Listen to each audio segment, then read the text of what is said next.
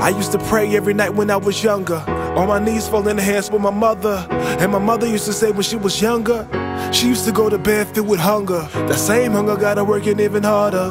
Got her traveling to Norway from Ghana. She said, My son, we're blessed. Now let's say our Father. Ups and downs, that's how life go. What's high if you don't know low? So I try not to complain. Appreciate life, and I keep saying.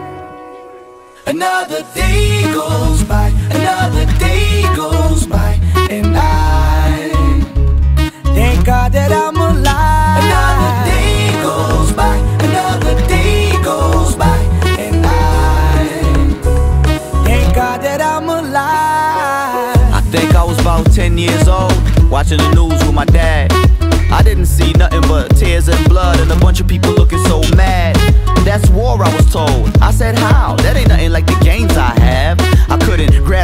Of an innocent child dying by the hands of a grown man. And why some kids raised off cartoons, young girls making money in dark rooms. We all deserve a decent meal. Why his belly so soft? Why she holding that hard spoon? And where's my head of state? His crime pace, talk peace, still engaging heavy arms trade in the jungle that we call Sin City. Wildlife rules, survival of the Another fittest.